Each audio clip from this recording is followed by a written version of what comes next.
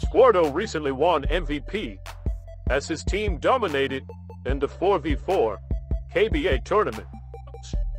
The Chicago Toros and the Fruit of the Gloom won five in a row in the losers bracket to win the KBA 4v4 championship.